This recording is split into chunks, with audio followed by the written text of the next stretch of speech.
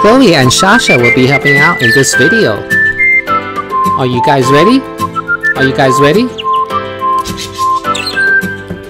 Okay, let's go!